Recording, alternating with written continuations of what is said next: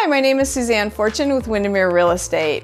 Thank you for coming to our beautiful shoreline house. I'm going to tell you a little bit about this house. It was built in the 20s and it was actually built uh, over in Greenwood and moved here to the shoreline area.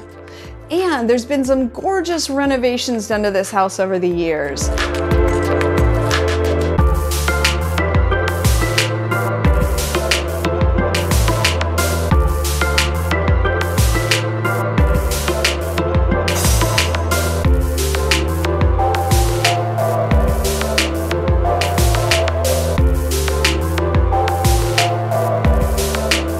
The kitchen, wow, the kitchen's been completely redone. It's got custom maple cabinets, beautiful countertops, heated floors, heated tile floors, mind you. So you get to walk around and feel nice and warm and cozy while you're in there cooking with your whole group of people.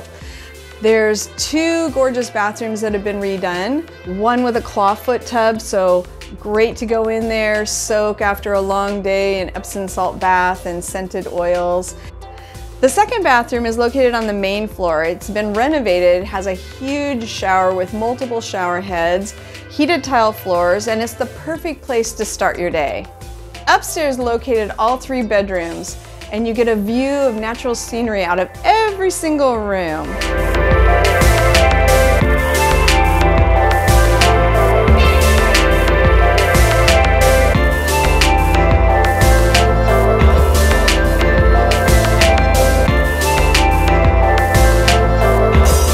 If I had this room as a child, I would never have left. It had been my total camp out room where dreams are made.